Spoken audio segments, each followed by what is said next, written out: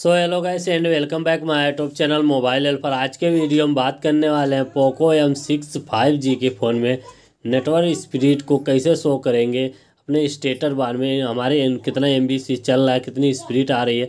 सब कुछ यहाँ पे स्टेटर बार में देखने को मिलेगा नोटिफिकेशन में। इस वीडियो में लाइव प्रूफ बताएँगे। अगर हमारी वीडियो आपको यूजफुल लगेगी गैस तो चैनल को सब्सक्राइब करना ना भूलें और लाइक करना भी ना भूलें। इसके लिए आपको सेटिंग ओपन करना है। सेटिंग ओपन करने के बाद आपके सामने ऐसा इंटरफेस ऊपर की तरफ़ स्क्रॉल डाउन करना। यह आल ऑप्शन नोटिफिकेशन का ऑप्शन देखने को मिल जाता है। इस पर आपको क्लिक कर देना है। इस पर जब क्लिक करोगे तो आपके सामने ऐसा इंटरफेस शो होगा। इसके बाद यहाँ पे शो वाला ऑप्शन देखने को मिल जाता है। सिस्टम बार का इस पर क्लिक करके दूसरा वाला ऑप्शन देखने को मिलता है।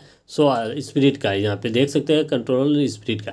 ये ऑप्शन बंद होगा तो इसको ऑन कर देना। जब इसको ऑन कर दोगे, ऊपर से स्लाइड करोगे तो आपके स्पीड शो होना